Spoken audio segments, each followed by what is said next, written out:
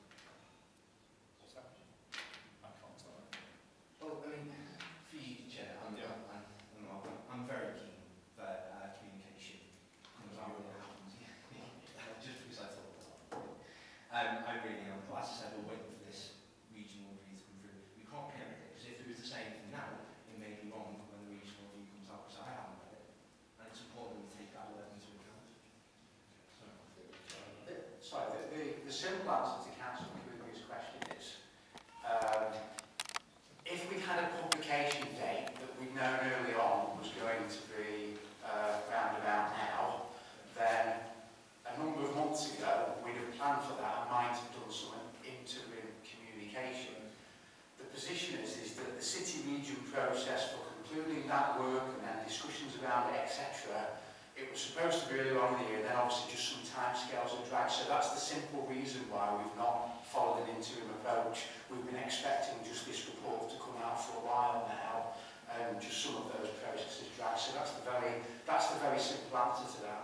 I just go back and reiterate the point that the data and the consultation results, you know, that's, that's factual information and data. But I think we all recognise across the council and across all parties that actually it's most important that I'm talking about when we go out to the public and the wider communication, when we do that, it's so there's in terms of sharing information with members, that's one thing, but when we go out with that wider communication and proper consultative, consultation feedback to the public, we're providing feedback on what we've been told, but really importantly, what our response to that is. Well, that,